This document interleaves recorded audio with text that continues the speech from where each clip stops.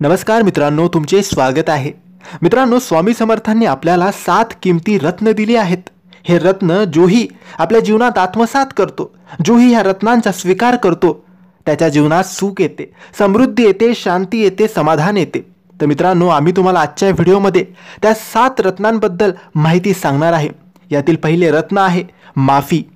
तुमच्याबद्दल कोणी काहीही बोलले तरी ते मनाला लावून न घेता मोठ्या मनाने त्यांना माफ करा. हेच पहिले रत्न आहे. स्वामी बोलतात कोणी कितीही चुका केल्यात तरी त्यांना माफ करायला शिका. दुसरे रत्न आहे विसरा. दुसऱ्यावर केलेले उपकार विसरा. फळाची अपेक्षा करू नका. निस्वार्थ भावना ठेवा. काही लोक असतात जे करतात मग सांगून दाखवतात बोलून दाखवतात. हे करू नका. जे तुम्ही करतायत चांगले कर्म करतायत चांगले कामं करतायत ते विसरून जा. स्वामी हेच सांगतात तुमच्या हातून जेही घडेल ते तुम्ही विसरा. स्वामींनी सांगितलेले तिसरे रत्न आहे विश्वास. नेहमी स्वकष्ट आणि ईश्वरावर अतूट विश्वास ठेवा. स्वतःवर विश्वास ठेवा. हीच तुमच्या यशाची पावती असेल. जर तुमच्या स्वतःवर आणि देवावर ईश्वरावर गुरुवर विश्वास नसेल तर तुम्ही काहीही करू शकणार नाही. म्हणून विश्वास ठेवा. चौथे रत्न आहे नातं. समोरच्याच्या मनाची काळजी. आपण आपल्या मनापेक्षा जास्त घेतल्यावर जे निर्माण होतं ते नातं. नात्याला जपा. नात्यांना तडा जाऊ देऊ नका. नातं खूप महत्त्वाचे असतं.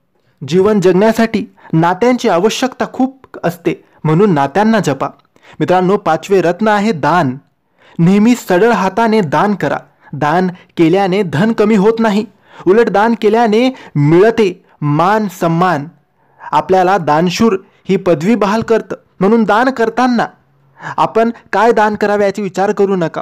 जे असेल ते तुम्ही दान करा. काहीही तुम्ही दान करू शकतात.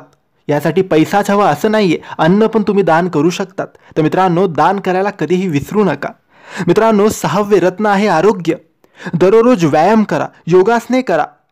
चालणे सुरू ठेवा. आपले जीवन निरोगी ठेवा. कारण आरोग्य तुमच्या हातात असेल तरच तुम्ही जीवन जगू शकतात. जर आरोग्य तुमचे चांगले नसेल तर तुम्ही जीवन काय जगाल? मित्रांनो सातवे रत्न आहे वैराग्य. नेहमी लक्षात ठेवा की जन्म आणि मरण कधीच कुणाला चुकलेलं नाही. जन्म घेतला म्हणजे मृत्यू अटळ आहे.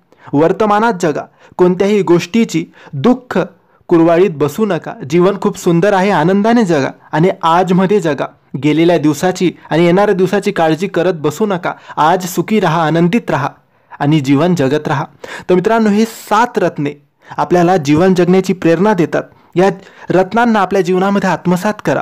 तर मित्रांनो माहिती तुम्हाला आवडली असेल तर लाईक आणि शेअर करा. काही प्रश्न असतील तर कमेंट्सद्वारे विचारा. आणि आमच्या चॅनलला सबस्क्राईब करायला विसरू नका. धन्यवाद.